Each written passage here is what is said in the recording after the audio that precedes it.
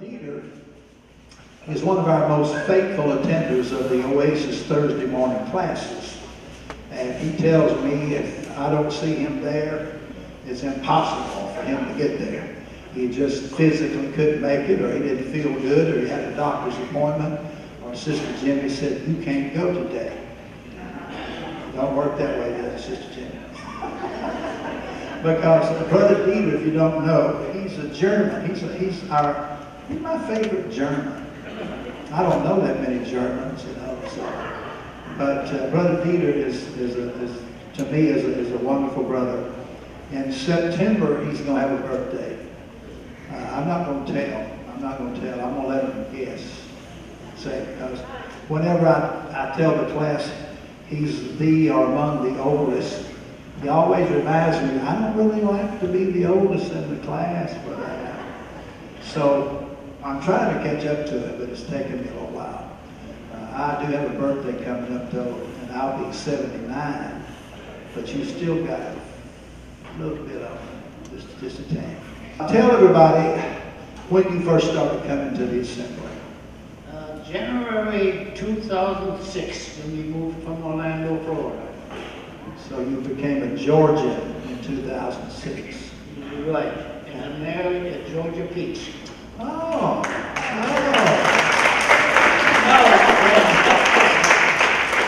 But anyway, I, I'm glad you did, because uh, if anybody can even come close to keeping you in line, it would have to be Sister Jimmy. And she, she's not from Georgia, though. How She she was born in Georgia. Okay, she lived in Florida, so anyway, we got that settled.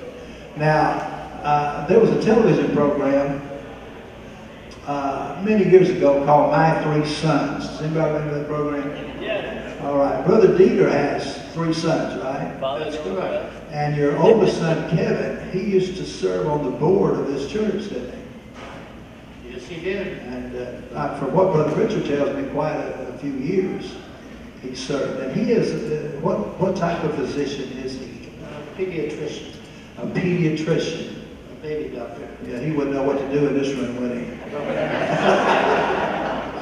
Let's hear from Kevin. He couldn't be here tonight, but we got him here anyway. So watch that screen and let's listen to Kevin. Dad, congratulations, and happy Father's Day. Uh, pretty cool that you got this uh, recognition, and as your son, I think you deserve it. I was told to give a few examples of what made you a great dad, and uh, I have a few. Uh, first of all, I want to say that uh, you were a good dad because you led by example. You didn't always say, you know, what to do or how to do it, but uh, we always knew that when you did something, you did it right, and usually it was done right the first time. And if you took the time to do it, it was going to get done, of your word, and you always followed through, especially with discipline. When Dad said we were going to get a spanking when we got home, we got a spanking. So I learned a lot from that too. Um, I can think of a couple examples where you did something just for me. Uh, I remember we were living in Germany at the time, and you, um, the family, you guys all went to Turkey, uh, but I was working. I think it was during the summer. I was working, had a summer job. Uh, but you made a point of after my job was over, before I went back to college, uh, you took me to Turkey. I think one of uh, one of my brothers went with us, or maybe both of them. But uh, you made a special trip and flew me space available to Turkey. So I remember that. And then uh, another time we were living in Germany, I think I was home for Christmas break. Uh, and from college, I had three or four weeks. Um, you took me uh, to Berlin with, I think, one of my brothers also. And you made a special trip. And back in those days, it was before the Berlin Wall came down. You had to take the train overnight uh, to get to Berlin through East Germany. And we got to meet, uh, I got to meet for the first time your cousins and get to know them a little bit and got to see some of the sights of Berlin. But uh, we have that picture, Dad, of you and me in front of the Berlin Wall. And uh, that's a good memory. And I, and I really thinking back, like, wow, you did that for me. Just pretty much for me, because you had taken everybody else to Berlin, I believe, another time as well. So, uh, Dad, you're a great dad. Uh, I love you very much. I thank you so much for all you've done for me and given me and set me on the right right path. And uh, you've been a great grandfather to my my kids. They adore their opa, and uh, I'm glad you got some recognition. And uh, hopefully uh, you'll have a great day today, or you had a great day. Uh, take care, Dad. I love you, and uh, hopefully be seeing you soon.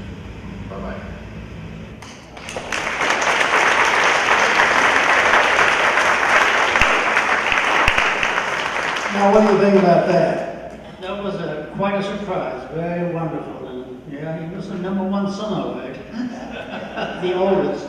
Well, now you're going to hear from the number two son, Shane. Oh, So I've, I- I've met these guys uh, through the internet, but I'm looking forward to meeting them in person. And you'll hear about some of them when they plan on, co- when you just heard Kevin say, he hoped to see you soon. Yeah, He's not, he's not that far away, he's in Jacksonville, Florida, right? that's right, and Gene had a birthday this month. Ah, okay. He is coming sometime soon. Yeah, yeah, well, let- let's hear from Shane. and especially to you, Dad. Uh, glad that you are still around and kicking and pushing 90. Uh, just wanted to wish you uh, a happy Father's Day, and uh, just to let you know how uh, grateful and appreciative I am uh, for you being my dad and giving us the life that you did. Looking back, I know some people uh, choose to rewrite uh, how their childhood was, or uh, while nothing's ever perfect, or you know, uh, it was still very good, and I really can't complain. Uh, most kids don't get to live overseas several times uh, in their lifestyle and be exposed to different culture and get to travel. So being in the military uh, having it grown up in the military that provided that for us. So that was just one one thing that uh, I'm grateful for. Uh, also, Dad, I appreciate you instilling in me a good work ethic, uh, working hard. While motive was probably being uh, military uh, based, um, and the root of it, uh, it did lead me as a believer in Christ to do everything as unto the Lord. Um, Colossians 3.23, I believe, is the scripture, uh, talking about with everything you do, do it wholeheartedly and unto the Lord and not to men. So I try to uh, transform that in my everyday life, uh, even with small things. So that is one um, positive, uh, biblical uh, attribute uh, that you uh, gave to me, so I'm thankful for that.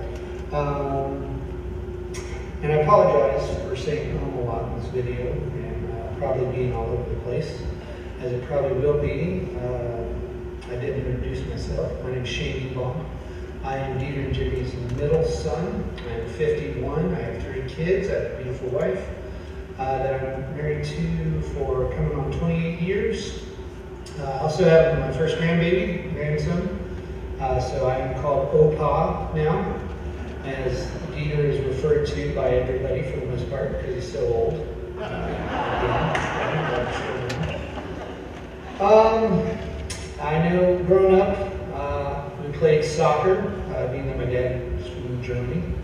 Uh, a lot of soccer. I remember I mentioned one time, hey dad, how about uh, let's throw uh, the baseball around? He's like, there's only one sport here, and that's soccer. So he coached us in soccer, and that was about it. So if we wanted to play other uh, sports, we, we did. We did on our own. Um, but again, can't complain. Dad was very supportive. Um, let's see.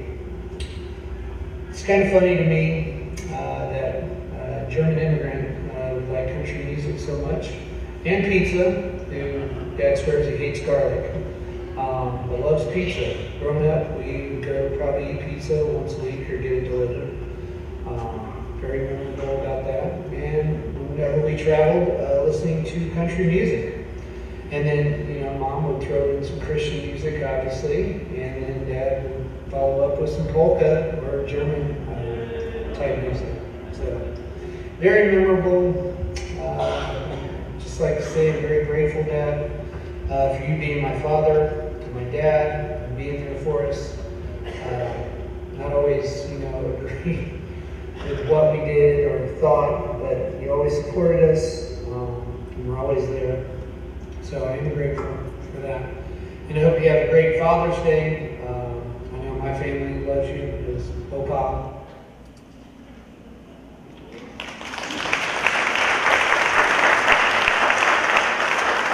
The reason he cut it off so abruptly there was he made his video too long for it to be texted to me.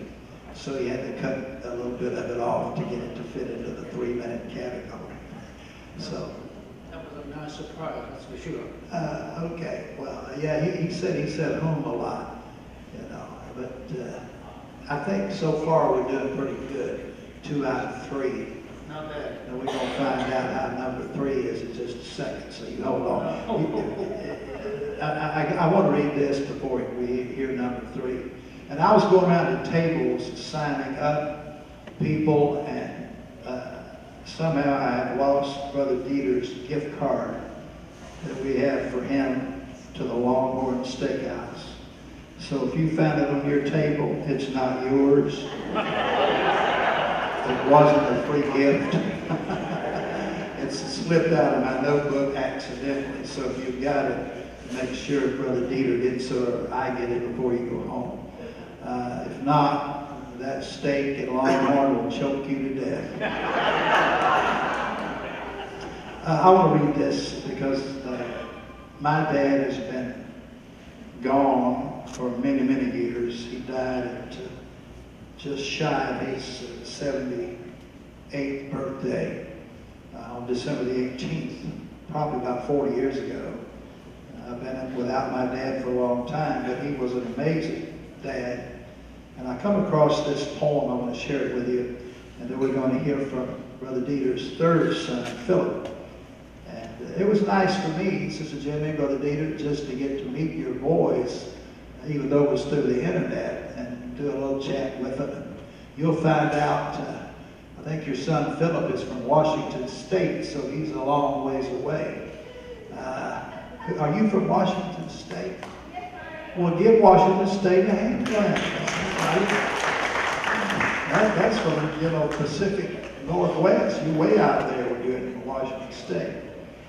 All right, let's, let, just listen to this. Bear with us in a moment because once we're finished with this, uh, the Georgia Southern Gospel Quartet from South Georgia, they're going to sing you happy. You're going to be happy. Uh, I hope you didn't eat too much over there at that table now because you like to sing, sing, sing. All right. Somehow a fella, a fella cannot express the feelings he's had. While through the years he's walked and talked and laughed and played with Dad. He cannot put in words the love, the pride that wells within, the admiration in his heart whenever Dad looks at him. Dad is the hero of his dreams, the king upon the throne, the pattern for that ideal life which he would make his own. He knows that Dad will understand the conflicts in his breast and share the problems he must face, though often unexpressed. How could a fellow go astray who has his dad, with his dad, has stood within the secret place of prayer before a holy God?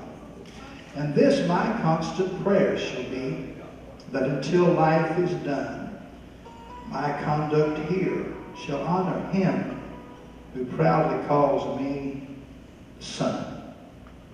So that's dedicated to all you dads that are here today. All right, here's the last son we're going to talk to, then I'm going to hear from Brother Dieter, and we're going to turn this gospel group loose on you tonight. This is Philip. Hey, hello everyone, and uh, happy Father's Day. Uh, my name is Philip Devon, and uh, I am uh, the third son of Dieter and Jimmy Pond. And I'm currently living in Richmond, Washington, so coming at you from the Pacific Northwest. But here's not bad currently. A little windy though. Uh, but anyway, enough about that. Hey, uh, and thanks for honoring my dad in this way. It's very kind. Thanks for asking me to participate. I really appreciate it. My dad is uh, a lot of things, of course. Uh, but the biggest one and, most important, I think, is that he is full of love. You know, he loves me, he loves us unconditionally. He always has. He loves my wife uh, and loves my kids. And really, that's all you need. But uh, he's more than that too. He's a provider. And growing up, we uh, didn't get everything uh, we wanted, uh, but I know I had everything I needed, uh, probably more than I needed. So he always provided, uh, which was great. And uh, he's always been an encourager.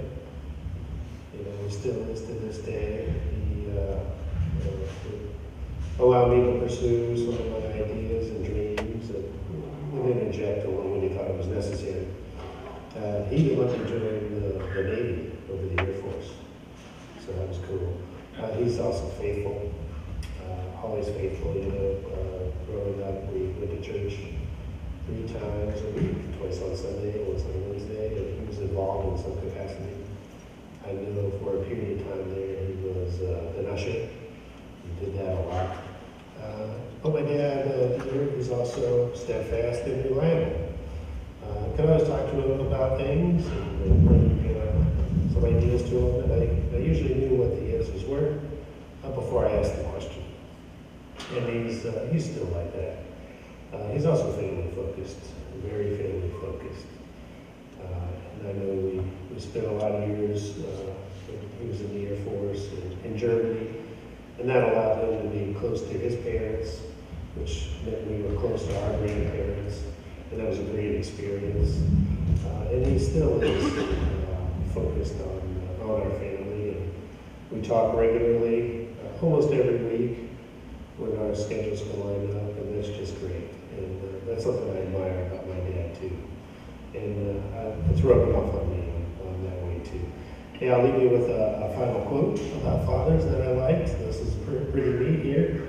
It says, A father is neither an anchor to hold us back, nor a sail to take us there, but a guiding light whose love shows us the way. I don't have the author there.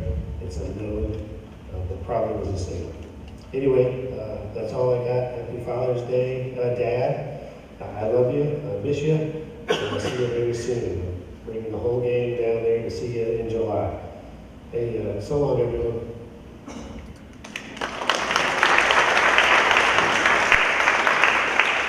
Well, we've heard from my three sons, or your three sons, uh, Kevin, Shane, and Philip.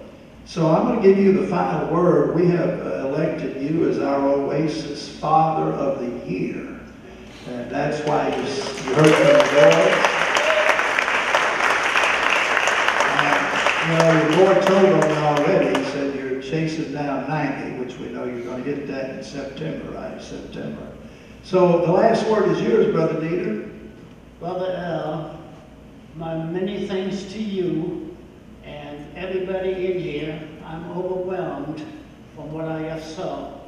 And I need to tell you, I couldn't have done this all without Jimmy's help. And uh, if you have a wife like this, you cannot go wrong. I don't care what you do. Thank you all very, very much. I appreciated this, and this was an enjoyment for me. And if I can live one more year, that'd be great too. Thank you. Let's give Brother Dieter a hand.